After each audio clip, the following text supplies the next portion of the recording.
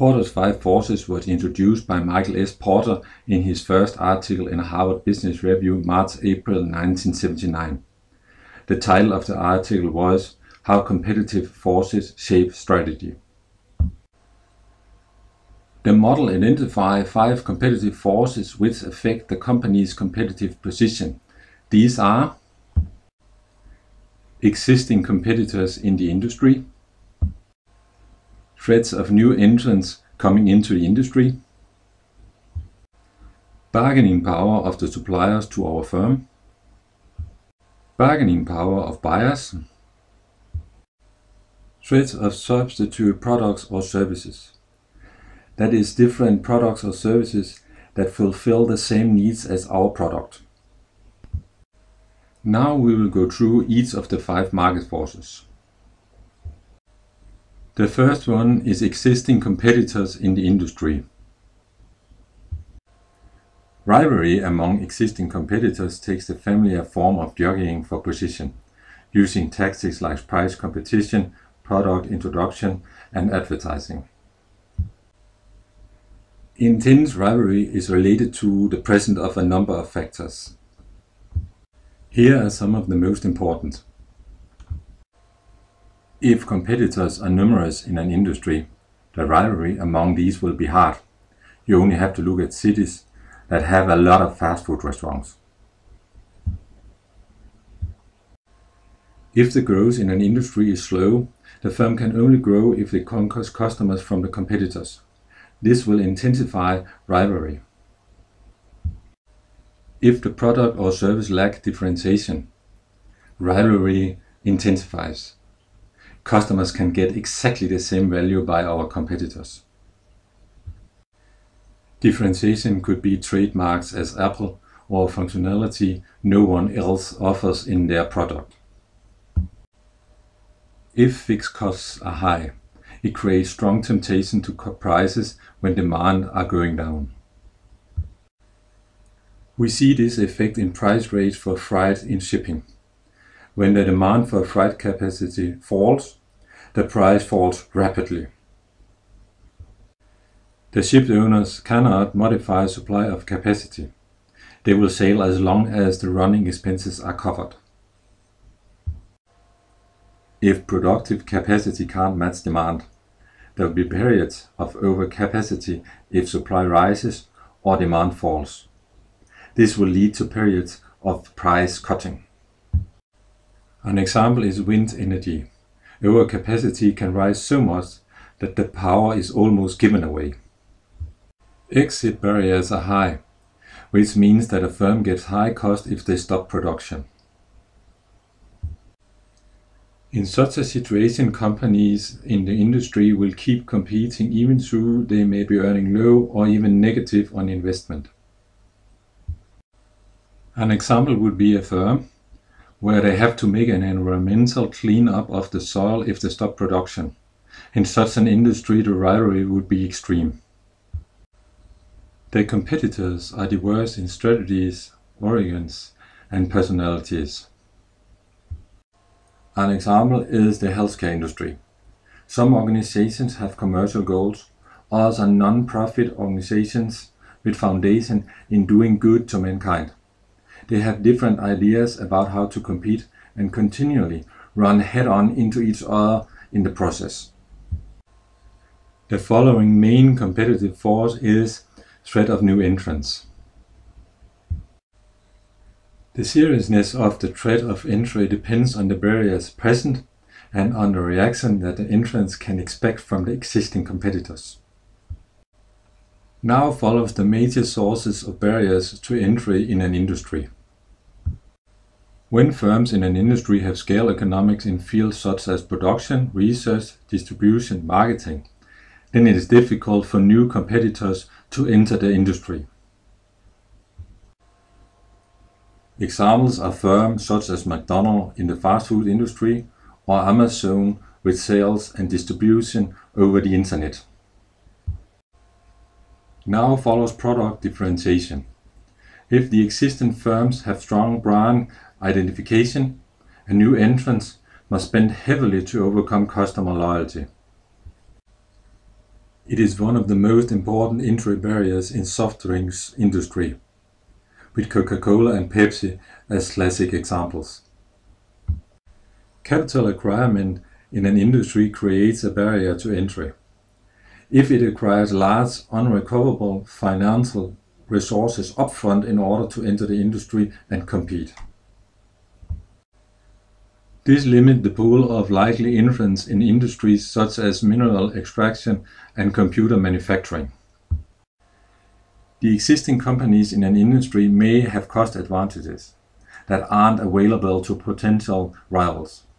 These advantages can stem from the effects such as the learning curve, favorable locations, and access to raw materials. IKEA has strategically placed stores and warehouses. They own forests. They have great experience in listening to customers' needs and maintaining a high quality. Access to distribution channels. The newcomer on the block must of course secure distribution of his product or service. A new food product, for example, must displace others, such as Nestle's products, from the supermarket shelf via price, promotions, intense selling efforts, or some other means. The government can limit or even foreclose entry to industries with control as license requirements and limits on access to raw materials. Most countries have some sort of regulation in industries such as trucking, liquor, retailing, and fishing. The government also affect entry barriers through controls such as air and water pollution standards and safety regulations. Other circumstances as the above mentioned can influence the barriers for new entrants in an industry, but they are a good starting point for an analysis about threats of new entrants. Now follows bargaining power of suppliers in relation to the industry. If suppliers are powerful, they can raise prices or reduce the quality of goods and services. A supplier group is powerful if the following circumstances are present. The group of suppliers are dominated by a few companies. An example is grain. Five companies control the world's trade. A supplier has a unique position. We cannot buy the product elsewhere or it is very expensive to change supplier.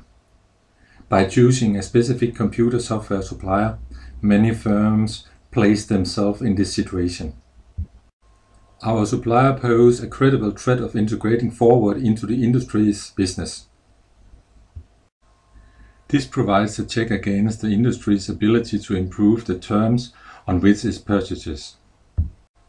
In the fashion industry, we see trademarks such as Gucci and Prada getting their own physical or online stores. This gives them a powerful position against small independent retail stores.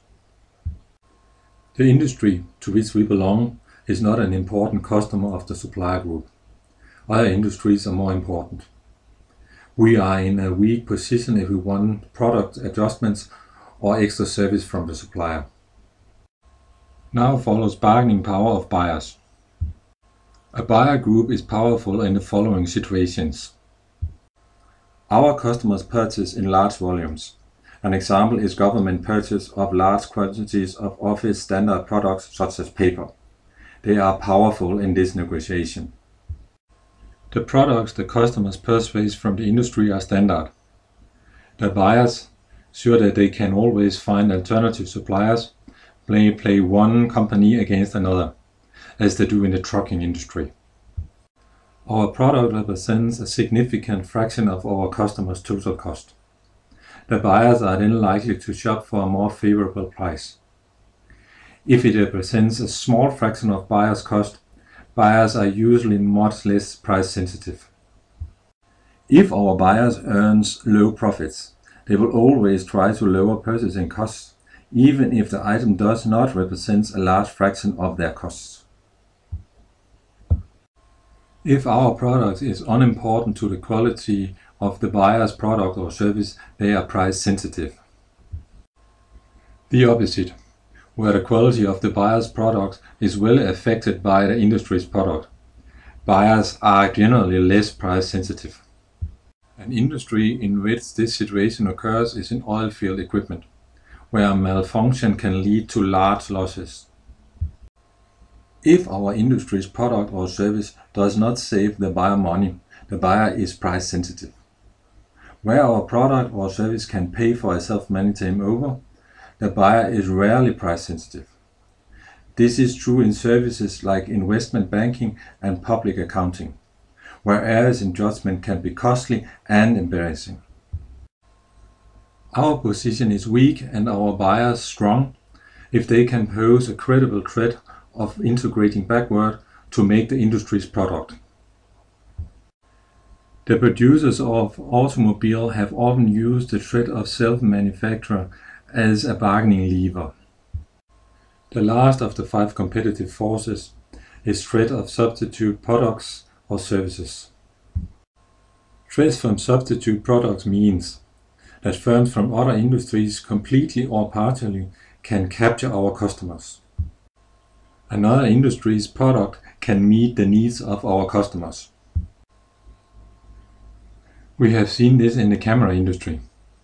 Today many needs for pictures are covered using the camera integrated in the mobile phone.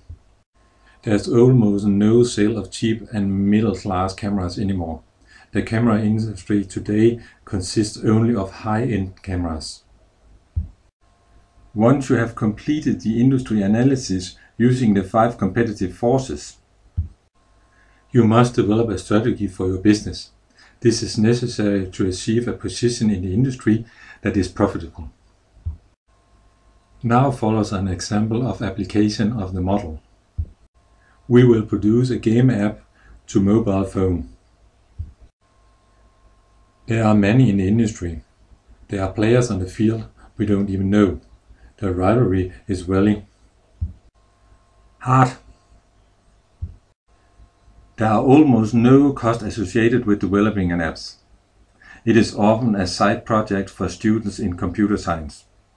Threats from new entrants are High. There are a lot of programmers we can hire to do the job. Suppliers' bargaining power is low. Buyers can look for another game. The bargaining strength is very high. An app can of course be replaced by a game played on a computer, but is not as mobile, so the threat is fairly low. According to the analysis, it is generally a bad industry. You need to develop one highly differentiated game if you want to make money. Now follows a criticism of Porter's five forces. The model is often accused of being a static model that exists in an environment that is constantly evolving. Michael Porter has responded to this criticism by stating that the model can analyze how the relationship between companies, customers, competitors, suppliers, and substitutes will develop over time. You can make predictions of the future forces all five forces carry equal weight, which is not true for all companies. You can argue that buyers are more important than the other aspects of the model, and that suppliers may also have a special status. The model looks at both suppliers and customers as a kind of enemies, where you have to be the strongest. However, it will in many cases be an advantage to see your customers and suppliers as partners, and thereby achieving some common benefits, which are not possible if you constantly work against each other. Finally, it must be mentioned that Porter's five forces provide a solid overview of the competitive situation which we are part of.